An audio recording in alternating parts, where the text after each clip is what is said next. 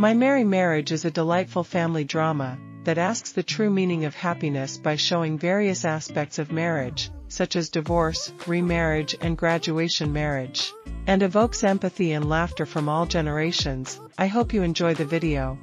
Maeng Kong-hee is a contract designer at JC Fashion. Having inherited her strong mother's spirit and her athletic abilities from her father a former detective.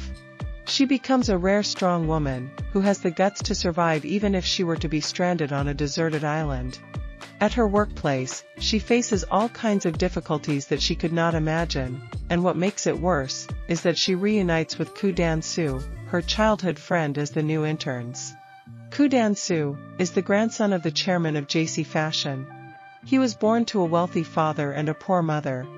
With his free spirit, Koo Dan-soo lived in a foreign country, but according to the plan made by his grandmother to be the successor, he must return and work at the company as an intern, and marry to put himself among the heirs. He returned to Korea and reunited with his childhood friend Maeng Kong-hee, asking her to be his fake bride.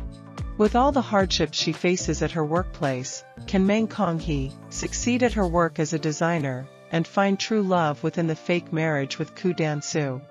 The series will be broadcast later on KBS 1, from Monday to Friday with 120 episodes.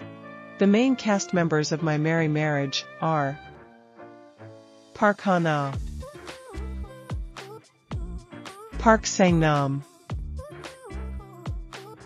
Lee Yeon-doo,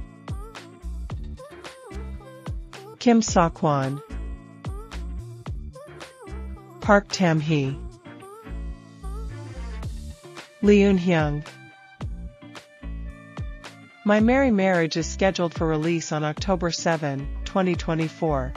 If you enjoyed the video, please let us know in the comments below which Korean drama you're most excited about, subscribe to the channel, and stay tuned for more upcoming episodes.